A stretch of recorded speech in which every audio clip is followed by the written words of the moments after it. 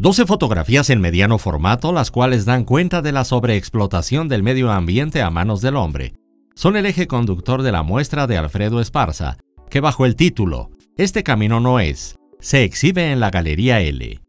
Una de las cosas que a él más le interesa es hablar sobre el paso del hombre, sobre el campo y cómo el hombre ha ido acabando con, pues, con, la naturaleza, ¿no? Llega, eh, lo explotan y en algún momento el campo ya no es más fértil y entonces como ya no sirve se abandona y se deja ya.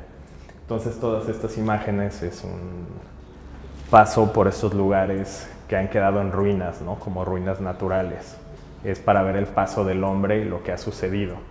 La curaduría del discurso fotográfico de Alfredo Esparza estuvo a cargo de Carlos Álvarez fotógrafo de larga trayectoria que diseñó un guion museográfico a partir de cientos de fotografías captadas en cuatro estados del norte de México, Coahuila, Chihuahua, Durango y Zacatecas.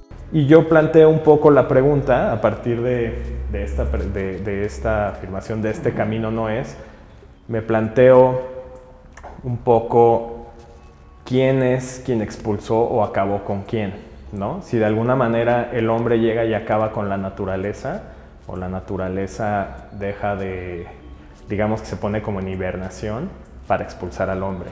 Y decir, no estás, este, no, debe de haber aquí como una relación de respeto y tú no la estás cumpliendo, entonces te expulso.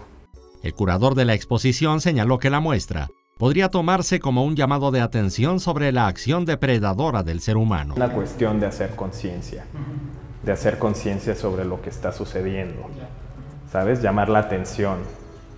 Sin embargo, no sé si podría decir que es como una acción como para detenerla, ¿no? Al final es un artista más que un activista. El papel del arte es mostrar las cosas y detenernos y hacer una reflexión de eso. Evidentemente lo ideal sería que cambiemos nuestra forma de vivir y, y nuestra relación con la naturaleza con información de Gabriel Vaquero Rojas e imágenes de José Luis Leone. Notimex.